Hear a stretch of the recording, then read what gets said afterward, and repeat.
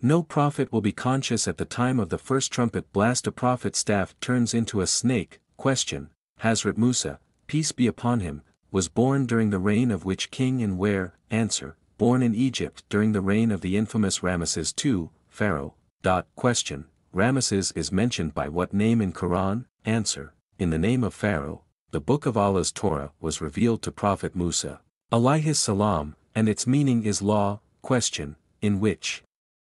disastrous moment was he born, answer, when Pharaoh Pharaoh of Egypt was killing the boys and newborn babies of Israel, question, what is the reason for the killing of Israelite children by Pharaoh?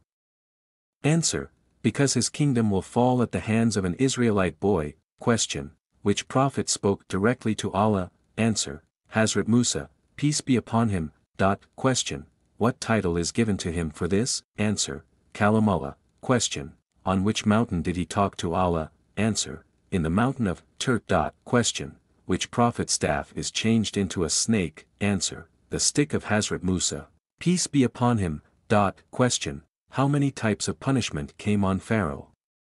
And his team, answer, famine, destruction of fruits, storms, locusts, lice, frogs, blood, seven kinds of punishment came, question, how did Prophet Musa, salam, leave Egypt and how was the cursed Pharaoh and his army destroyed?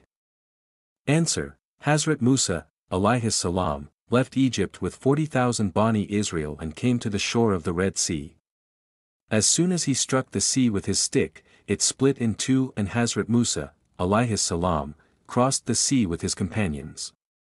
But when Pharaoh and his army followed him, they all drowned in the middle of the way, question, which prophet will be conscious during the first trumpet blast of the great deluge, answer, Hazrat Musa, peace be upon him, dot, question how many years was Hazrat Musa, alayhi salam, alive, answer, 120 years.